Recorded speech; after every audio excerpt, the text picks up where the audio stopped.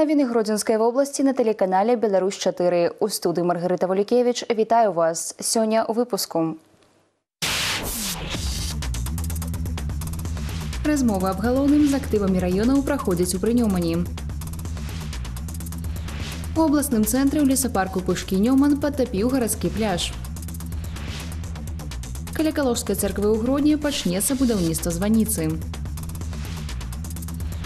Турнір па кулявой стральбе сабраў рэкордную колькасць каманд праваахоўных і сілавых структур вобласці.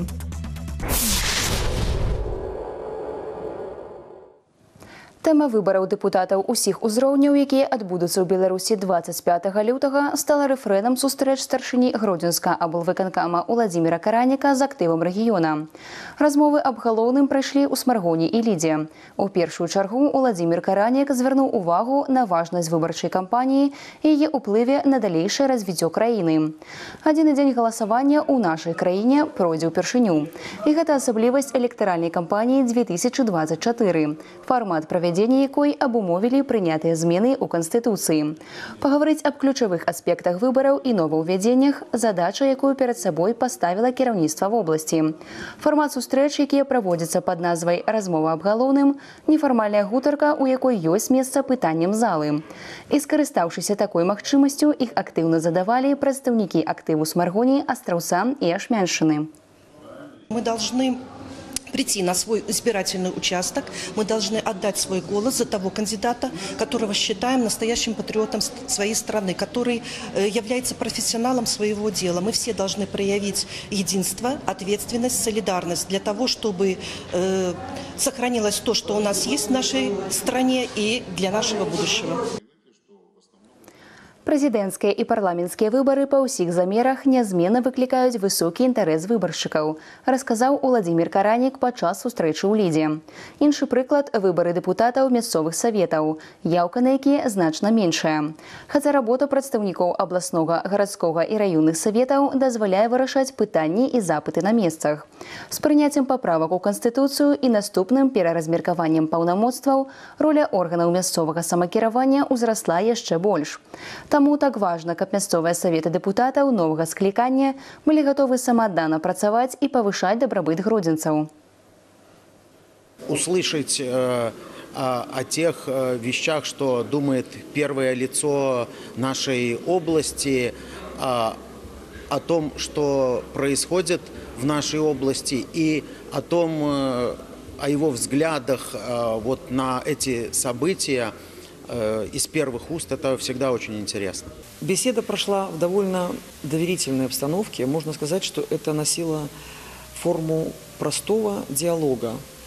Но при этом разговор оказался очень конструктивным. Были подняты вопросы не только выборов предстоящих, необходимости прийти на эти выборы, обозначить свою позицию, привлечь к этому молодежь в рамках будущего воспитания и ответственности за свою страну и за свой выбор. Размовы аб галоўным прайшлі ўжо ў смаргоні і лідзе.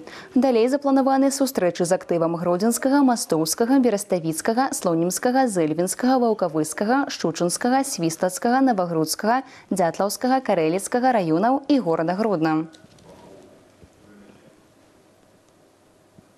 З мэтай бліжэй пазнаёміць беларусаў з дзейнасцю дэпутатаў палаты прадстаўнікоў і савета рэспублікі прадстаўнікаў мясцовых саветаў абласны цэнтр наведаў михаил русы.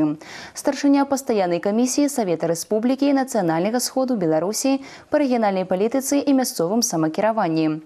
Ён правёў сустрэчу са студэнцкай моладзю і працоўным калектывам аграрнага універсітэта падчас якой быў зроблены акцэнт на ролі народных абраннікаў у павышэнні ўзроўню дабрабыту грамадзян. Таксама михаил беларусы як удзельнік рэспубліканскай інфармацыйна-прапагандысцкай групы засяродзіў увагу на заканадаўчых зменах расказаў аб праведзенай рабоце і адказаў на пытанні юных выбаршчыкаў усе падрабязнасці ў рубрыцы каментары дня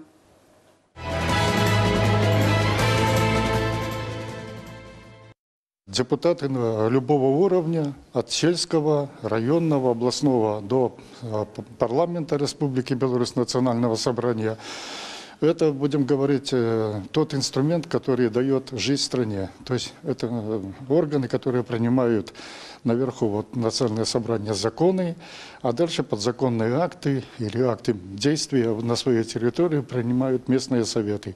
То есть э, важность, какой закон мы примем, как он будет работать на те- на территории, как его будут воспринимать люди, как они увязаны с чаями народа, вот это самое главное. Поэтому роль довольно высока, потому что после законов потом работает, закон принят, дальше включается в работу по его исполнению вся исполнительная власть. То есть Совет министров, обосполкомы, райисполкомы, органы хозяйственного управления. Поэтому от качества тех законов, которые мы примем, во многом зависит и жизнь любого человека. Поэтому мы должны знать все, что думает человек, все, что можно э, те законодательные акты решить и организовать на данной территории и принять соответствующий законодательный акт. Молодежи, я думаю, что сегодня информации довольно достаточно, но когда с первых уст рассказываешь, тому каждый понимает по-разному. Я уже говорю, кто приходил на избирательные участки, а кто-то придет первый раз. Тем более новая система. Теперь уже пять лет депутаты, единый день голосования. Вот. Если раньше получали один бюллетень, то в зависимости сегодня от территории, если сельская, то это в сельский, в районный, в областной и в палату представителей. То есть люди будут получать четыре бюллетеня, и за каждым надо выбрать себе э, депутата. Ну, здесь у Гродно, кто будет голосовать, здесь городской, областной и палата представителей. Три получат бюллетени. Поэтому молодежи надо сказать, чтобы внимательно посмотрели, кто идет по округу в городской совет, кто в областной совет, кто в палату представителей. Вот. Какие их программы, какие подходы, патриоты или не патриоты эти депутаты нашей страны. Потому что если э, депутат не патриот страны, то нам, в принципе, такие люди, ну, я прямо говорю, не нужны, потому что тот, кто против страны, тот против народа, а зачем такого избирать? Поэтому вот людям надо об этом и студентам говорить, и напоминать, и по- показать, какое великое право, что человек может выбрать сегодня и проголосовать, отдать голос именно за того, кто ему нравится.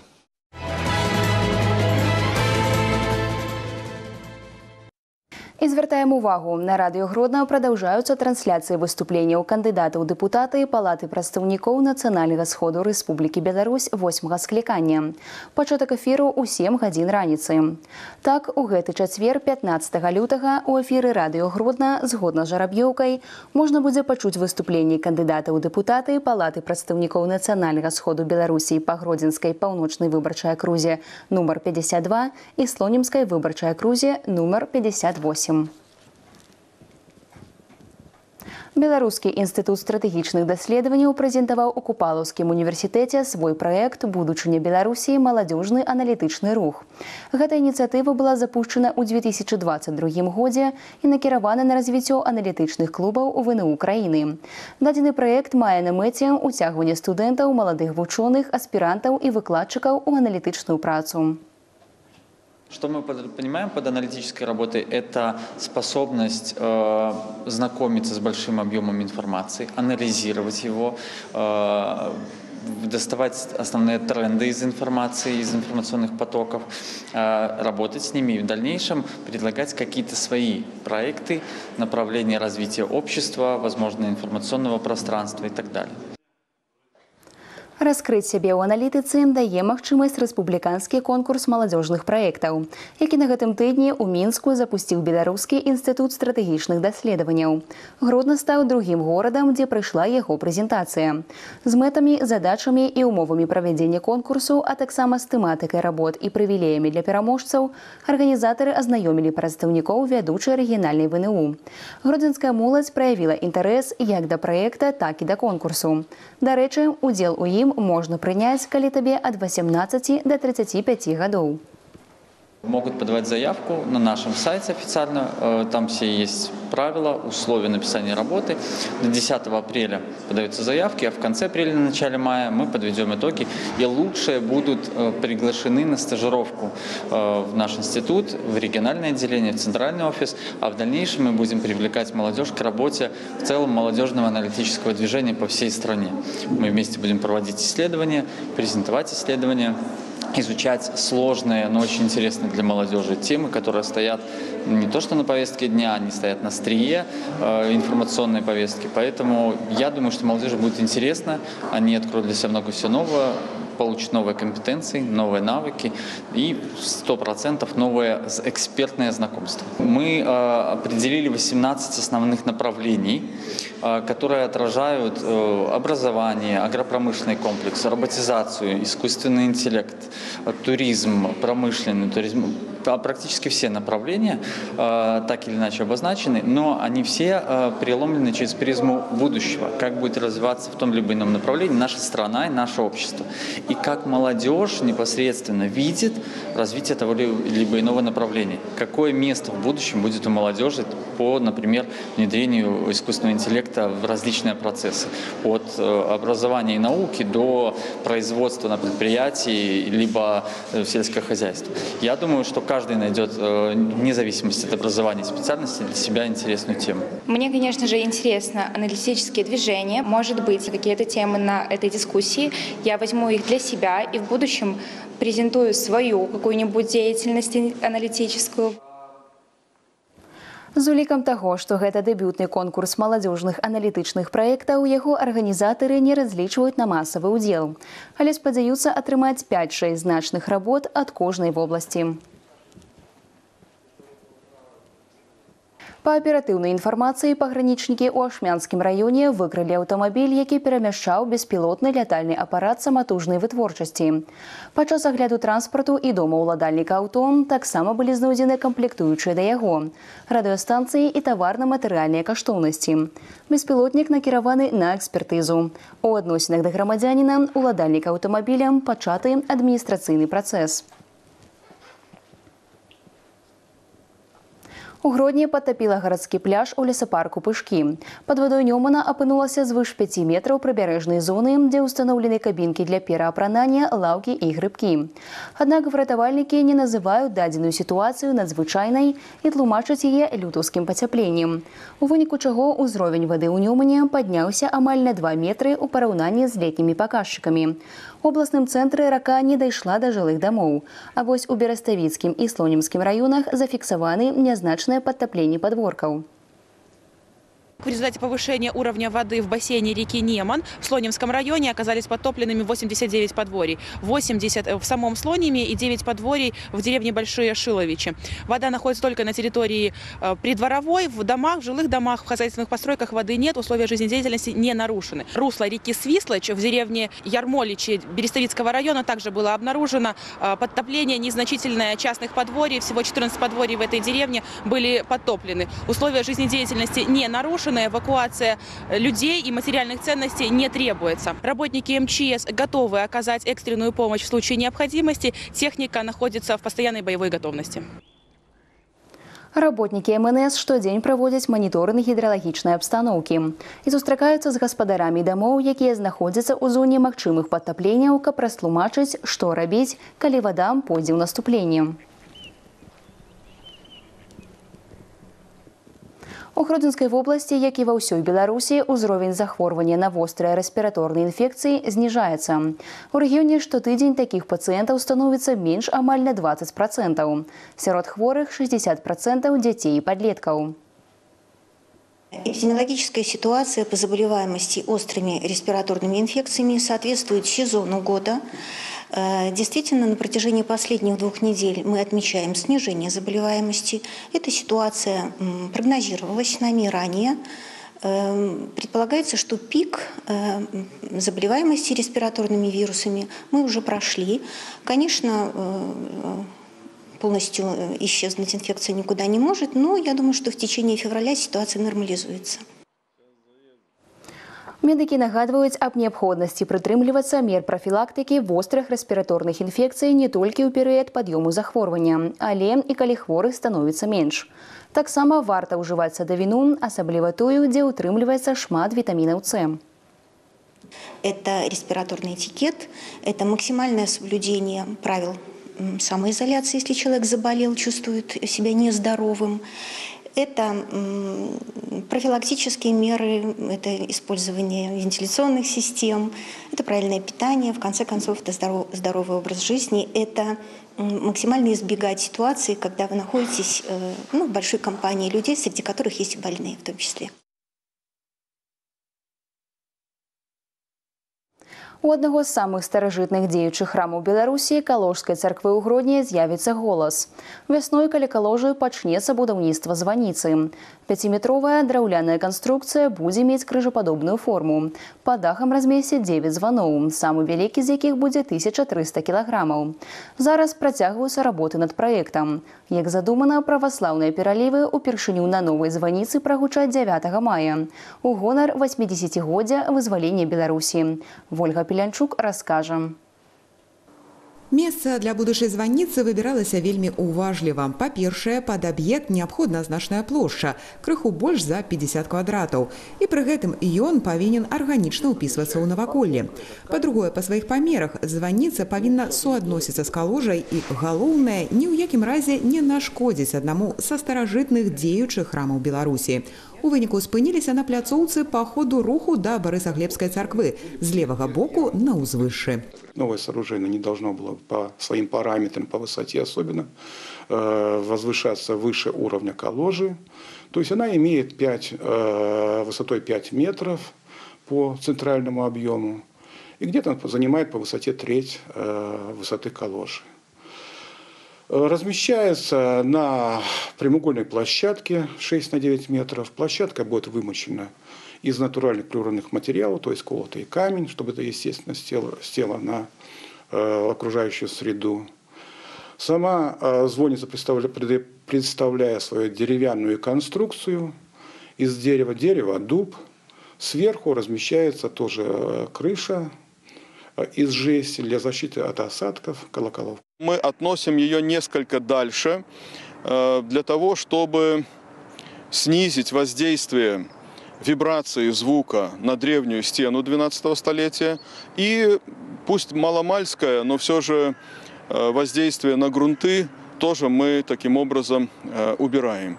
Э, Можно сказать, что колокольня, новая колокольня сооружается с заботой о древнем храме, с тем, чтобы никаким образом не причинить никакого вреда. Званіца будзе мець крыжападобную форму, накрыта тым самым матэрыялам, што і каложа. Увянчае яе крыж, які па форме будзе пераклікацца з храмам. Падобны да рознакаляровай маюлікавай пліткі, якая упрыгожвае сцены царквы, будзе дэкор і на крыжы і на браме званіцы. Пад яе дахам на ўзроўні двух метраў над зямлёй размесцяць 9 інструментаў. Самы масіўны 1300 кілаграмаў у цэнтры, 8 па баках. Да слова, самі званы будуць аздоблены абразамі, арнаментам, таксама на іх нанясуць пасланні нашчадкам. Самый большой, который будет весить тонну 300, он уже отлит, но еще находится на заводе.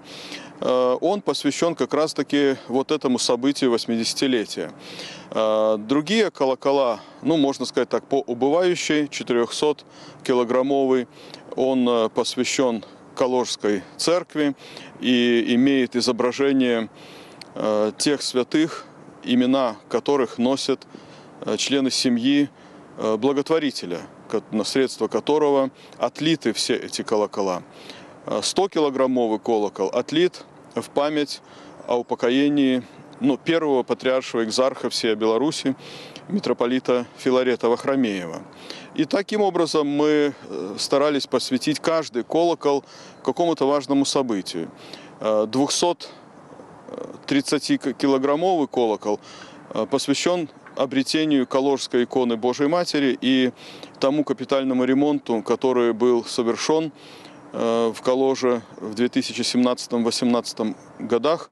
Пералівы званоў неад'емная частка царкоўных богаслужэнняў. Гістарычна званіца ў каложы была. У 12 стагоддзі яна знаходзілася над паўднёва-заходнім вуглом храма. Менавіта гэта частка будынка абрынулася ў Нёман у 1853 годзе. Былі званы і ў 19 пачатку 20 стагоддзя. І яны, на жаль, не захаваліся. Аднавіць званіцу планавалася падчас рэканструкцыі царквы ў 2017 годзе, але не атрымалася. І вось зараз усё павінна здзейсніцца. Прыступіць Прыступіць да будаўніцтва мяркуецца вясной. Зараз праект у рабоце. Як запланавана першыя пералівы ля калужы прагучаць да 80годдзя вызвалення Беларусі ў дзень перамогі. Сёмы чэмпіянат па кулявой стральбе сярод каманд праваахоўных ведомстваў і сілавых структур прынюмання на прызы старшыні аблвыканкама стартаваў у горадзе над Нёманам. Спартыўнае мерапрыемства па традыцыі прысвечана дню абаронцаў айчыны і ўзброеных сіл Рэспублікі Беларусь. У турніры, які прайшоў на базе спартыўна-стралковага комплексу БФСТ «Дынама», сёлета прыняла ўдзел рэкордная колькасць каманд 24. Тацяна Грышук з падрабязнасцямі. Стралковы турнір праводзіўся сёлета ў сёмы раз. У першым з заснаваным старшынёй гродзенскага аблвыканкама у гонар стагоддзя ўтварэння ўзброеных сіл Беларусі удзельнічалі 11 каманд. У 2024 рэкорд 24 дружыны. Як прагучала на адкрыцці, абласныя спаборніцтвы садзейнічаюць папулярызацыю кулявой стральбы, а таксама дазваляюць выявіць узровень прафесійнай падрыхтоўкі праваахоўнікаў і сілавікоў. В рамках э, того, что все мужчины готовы выступить на защиту страны, руководители подают пример своим подчиненным в том, что надо будет, э, весь силовой блок, несмотря на то, что эксперты они, охранники колоний или э, оперативники по борьбе с высокими технологиями, когда надо постоять за свой дом, за свою границу, за свое отечество, это сделают все. Никто не заслонится другими специальными обязанностями. Это вот демонстрация руководителей сваім падчынёным такого примера яркого. Сярод удзельнікаў прадстаўнікі УУС абласнога УМНС, гродзенскай пагрангрупы рэгіянальнай мытні пракуратуры СК, упраўлення дзяржаўнага камітэта судовых экспертыз і іншых ведомстваў і структур. Змагалася за прызы чэмпіянату і старэйшае пакаленне, прадстаўнікі абласнога савета ветэранаў і моладзь, навучэнцы кадэцкага вучылішча. Мы будем оттачивать наше мастерство, будут делиться опытом друг с другом.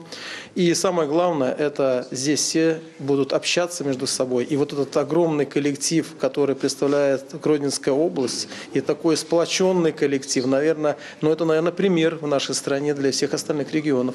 Мацнейшыя вызначаліся ў трох відах МВ1 малакаліберная вінтоўка, ПП1 пнеўматычны пісталет і ПМ1 пісталет Макарова. Згодна з рэгламентам у кожным туры былі прадугледжаны па тры пробныя і 10 заліковых стрэлаў. Па словах экспертаў, тэхніка і тактыка пры выкананні асобных практыкаванняў залежаць ад шматлікіх фактараў. Коронный прием один – это э, расслабиться, успокоиться, думать о том, что ты не соревнуешься с кем-то, а э, просто э, помнишь о плавной плавном спуске, ровной мушке и не отвлекаться вообще ни на какие посторонние. Ну, как я сказал, вся Вселенная сосредоточилась э, в одном месте, это вмешание. Пераможцы чэмпіянату па кулявой стральбе на прызы старшыні аблвыканкама будуць названы ў камандным і асабістым заліках. Да слова летась першае месца ў спаборніцтвах заваявала каманда УУС гродзенскага аблвыканкама. На гэтым выпуск завершаны. Я развітаюся з вамі. Усяго добрага.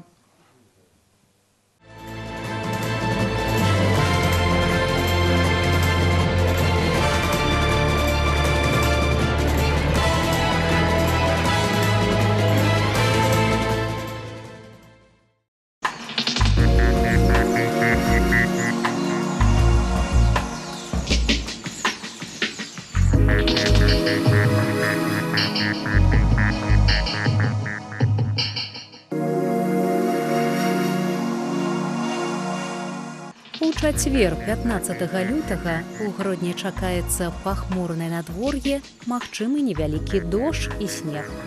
Раніцай слупок тэрмометра пакажа каля аднаго градуса цяпла, днём да плюс 4, а вечарам да плюс трох градусаў. Вецер паўднёва-ўсходні 2-4 метры за секунду. Атмасферны ціск 756 міліметраў ртутнага слупка. Вільготнасць паветра каля 92 процентаў раніцай, 84 днём і 89 процентаў вечарам. З улікам усіх метэаралагічных дадзеных адчуваемая тэмпература паветра на працягу дня будзе вагацца ад мінус трох да плюс аднаго градуса. У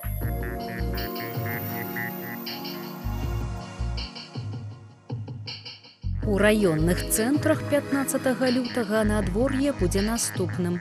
У вялікай бераставіцы і свіслачы каля аднаго градуса цяпла раніцай і да плюс трох днём і вечарам. Пахмурна, магчымы невялікі дождж і снег. Вецер паўднёва-заходні 2-4 метры за секунду. У ваўкавыску прагназуецца каля аднаго градуса цяпла раніцай да плюс 4 днём і да плюс трох вечарам. Пахмурна, магчымы невялікі дождж і снег. Вецер паўднёва-заходні 2-4 метры за секунду.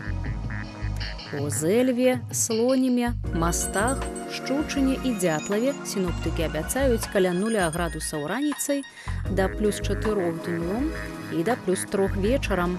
Пахмурна, без істотных ападкаў.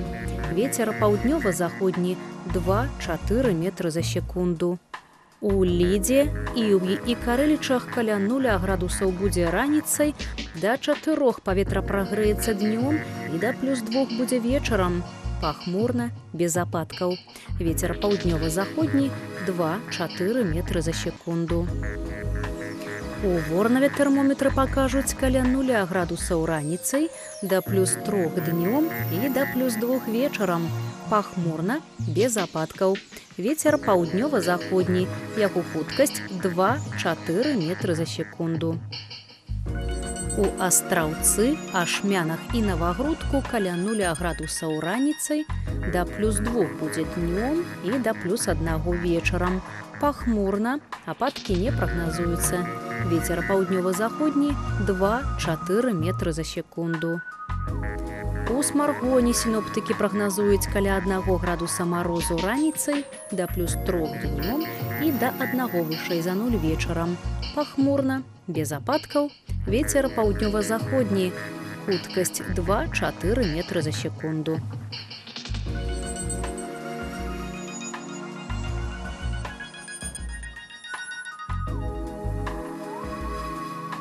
Геамагнітная сітуацыя ў чацвер 15 лютага будзе даволі спрыяльнай. Сонечная актыўнасць не перавысіць узроўню невялікіх геамагнітных хваляванняў. Узыход сонца ў 8 гадзін 45 хвілін, захад у 18:33. Светлавы дзень у параўнанні з серадой павялічыцца на 4 хвіліны і складзе 9 гадзін 48 хвілін.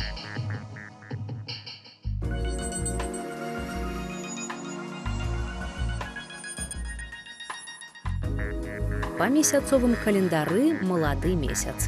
А дакладней 15 лютага ў 9 гадзін 32 хвіліны пачынаецца сёмы дзень месяцовага цыклу.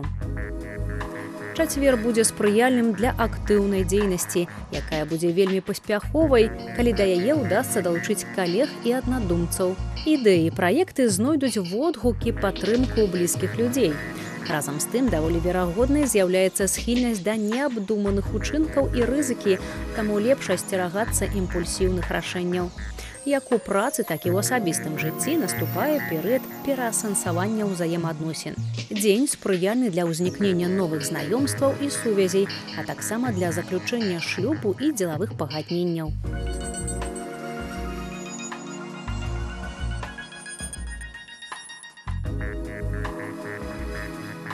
У чацвер 15 лютага па праваслаўным календары грамніцы або інакш стрэчання. Даволі значнае свята, на якое абавязкова ішлі ў царкву і асвячалі свечкі. Пасля іх запальвалі ў час навальніц, каб засцерагчы хату ад грому і маланкі, або калі хварэлі людзі ці жывёла, каб прагнаць хваробу. Пра грамніцу ў народзе гаварылі так: на грамніцы палавіна зіміцы, або яшчэ на грамніцы зіма з летам сустракаецца. Дарэчы, з гэтай прымаўкі становіцца зразумела, чаму другая назва свята стрэчанне. Існавалі і прыкметы надвор'я звязныя са святам. Напрыклад, калі на грамніцы певень нап'ецца вадзіцы, то на юр'я вол наесца травіцы. Мелася на ўвазе юр'я, якое адзначаецца 6 мая. Па